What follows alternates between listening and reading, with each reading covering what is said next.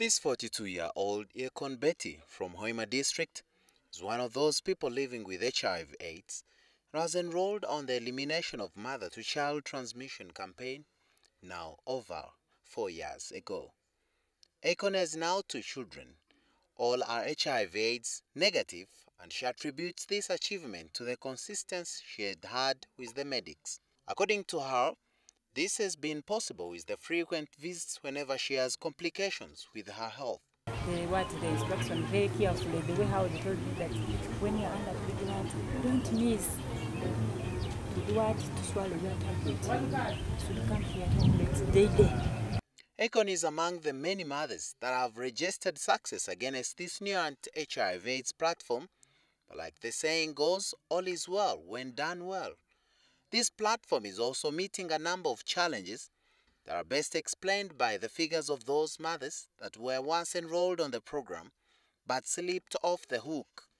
According to Nankwanga Ruth, in charge of the mother baby care unit at Hoima Referral Hospital, where the EMTCT campaign has been launched today by the First Lady.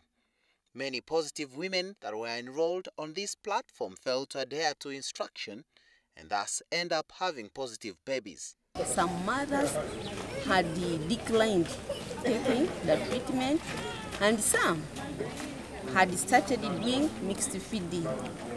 In the process, they are not supposed to breastfeed and give other feeds for the first six months.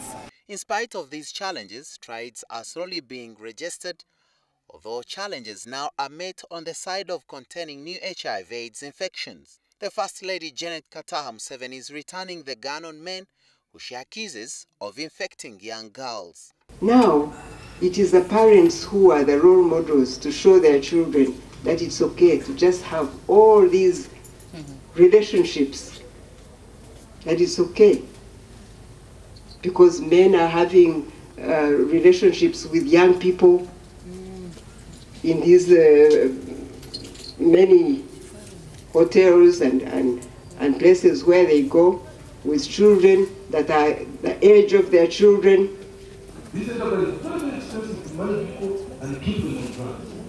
So we must make sure we reduce the number of people who get HIV as a matter of choice. As the First Lady launched the EMTCT platform in Hoima, she appealed to everyone not to slip off the hook in the fight against the epidemic. If each man, head of a family, says that in their household and becomes the role model for their children, we will defeat HIV and AIDS. We recommit to continuing this work with you, and we know that together we will achieve an AIDS-free generation.